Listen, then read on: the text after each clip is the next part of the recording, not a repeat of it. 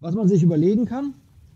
Und zwar, dass diese Relation Doppeltilde a, dass das eine Verfeinerung ist.